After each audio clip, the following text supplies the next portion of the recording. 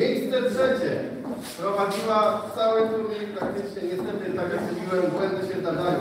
Nasza ubiegłoroczna już, zeszłoroczna, nieaktualna uczestników, jednak wciąż